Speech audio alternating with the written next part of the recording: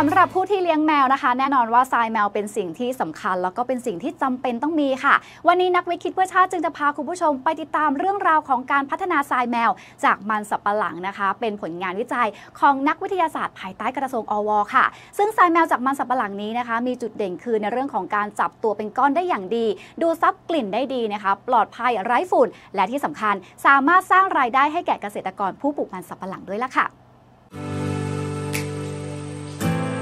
เราเป็นทาสแมวอยู่แล้วนะครับ แล้ววันหนึ่งเราก็ได้อ่านข่าวหนังสือพิมพ์ เห็นข่าวของกรมส่งเสริมการค้าระหว่างประเทศอยากให้ประเทศไทยส่งออกทรายแมวไปยังตลาดโลก ผมและกลุ่ม founder นะครับ ก็ได้รวมกันแล้วก็เอางานวิจัยของต่างประเทศเข้ามาเปิดดู แล้วก็คิดว่าประเทศไทยอะน่าจะมีศักยภาพในการผลิตทรายแมวที่มีคุณภาพสูงได้ เราใช้เวลากว่า 2 ปีนะครับ จนในที่สุดเราก็ได้เป็นทรายแมวจากมันสำปะหลัง 100%ในแบรนด์แฮนซีครับ เราได้รับการสนับสนุนจากกระทรวงอว. นะครับผมตอนแรกอะเราวิจัยด้วยตนเองใช้ทุนส่วนตัวนะครับ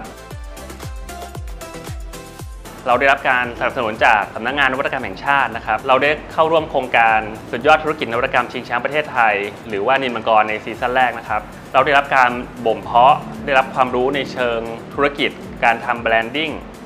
แล้วก็สร้างการรับรู้ให้กับผู้บริโภคนะครับ ว่าของเราดี กว่าสินค้าอื่นในตลาดยังไง แล้วก็แตกต่างอย่างไรนะครับทำให้ในที่สุดเราก็ได้รางวัลชนะเลิศสุดยอดธุรกิจนวัตกรรมชิงแชมป์ประเทศไทยหรือนิลมังกรในซีซั่นแรกมาครับผมแล้วเราก็ได้ทำการ R&D เพิ่มเติมนะครับ โดยได้ลงทุนร่วมกับสกว. นะครับแล้วก็มีการทำวิจัยร่วมกับจุฬาลงกรณ์มหาวิทยาลัยนะครับ คิดค้นทรายแมวที่ช่วยมอนิเตอร์โรคของน้องแมวได้เบื้องต้น อย่างเช่น ถ้าน้องแมวมีค่าของปัสสาวะเป็นกรดเป็นเบสมากเกินไป หรือมีเลือดปนมานะครับทรายแมวจะเปลี่ยนจากสีหนึ่งเป็นสีหนึ่งเนี่ยครับเป็นต้นครับ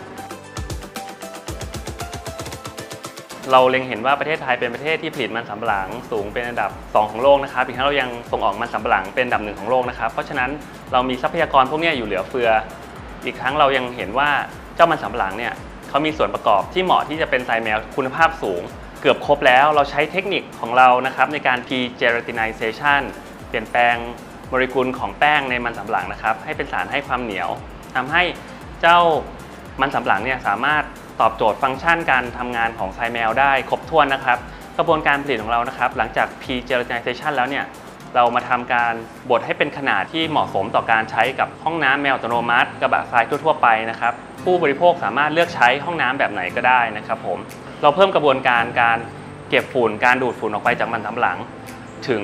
5 ชั้นนะครับทำให้ทรายแมวจากมันสำปะหลังไฮแอนซีของเราเนี่ยมีฝุ่นน้อยมากๆ จนแทบจะไม่สามารถสังเกตเห็นได้เลยนะครับผม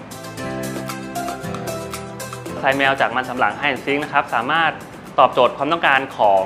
ผู้บริโภคได้ในทุกมิตินะครับ คนที่เลี้ยงแมวเนี่ยเขาจะพบว่าทรายแมวจากมันสำหลังไฮแอนซีสามารถดูดซับกลิ่นแอมโมเนียได้ชัดเจนนะครับ เมื่อเทียบกับทรายแมวแบบอื่นๆที่เขาเคยใช้อยู่ อีกทั้งความสะดวกสบายนะครับ ในการใช้งานเนี่ยเขาสามารถทิ้งลงชักโครกได้เลย ไม่จำเป็นต้องใส่ขยะแล้วรอให้รถขยะมารับนะครับ แล้วข้อดีอีกอย่างหนึ่งคือไซแมวจากมันสำหลังไฮแอนซิกนะครับปลอดภัยมาก ถ้าเกิดน้องแมวเด็กๆ ที่เพิ่งหัดใช้ไซแมวเผลอทานเข้าไปนะครับ ผู้เลี้ยงก็ไม่ต้องกังวลนะครับ ว่าน้องแมวจะเป็นอันตรายนะครับ เพราะว่าอันนี้ปลอดภัยในเกรดที่น้องแมวสามารถทานได้เลยครับ เรามีแผนที่จะพัฒนาไซแมวในรูปแบบใหม่ ๆ ออกมาอย่างสม่ำเสมอนะครับ อย่างเช่นตอนนี้เรามีการวิจัยไซแมวที่รักโลกมากกว่าเดิมอีก โดยนำออของเหลือจากอุตสาหกรรมการเกษตรนะครับ อย่างเช่นกากมันสำปะหลังนะครับ ซึ่งเราวิจัยร่วมกับมหาวิทยาลัยเกษตรศาสตร์อยู่นะครับ แล้วก็ไซแมวในกลุ่มที่ช่วยมอนิเตอร์โรคได้ในอนาคตนะครับ ซึ่งเราจะเรียกว่าไซแมวเปลี่ยนสีได้ครับ ซึ่งตรงนี้เราวิจัยร่วมกับจุฬาลงกรณ์มหาวิทยาลัยอยู่ครับ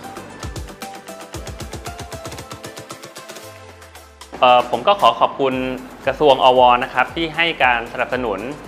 สินค้านวัตกรรมของคนไทยนะครับ เราได้รับการสนับสนุนจากหลาย ๆ ภาคส่วนไม่ว่าจะเป็นสำนักงานนวัตกรรมแห่งชาตินะครับ และก็มหาวิทยาลัยต่าง ๆ ที่ช่วยในการวิจัยนะครับผมทำให้เกษตรกรไทยที่ปลูกมันสำปะหลังได้รับผลประโยชน์ตรงนี้ด้วย เพราะว่าเราสามารถสร้างมูลค่าเพิ่มให้กับมันสำปะหลังได้สูงถึง 16 เท่านะครับผมทำให้นวัตกรรมของคนไทยได้ถูกนำมาใช้จริง เผยแพร่จริงนะครับ ลดการนำเข้าเพิ่มการส่งออกด้วยครับผม ขอบคุณมากครับ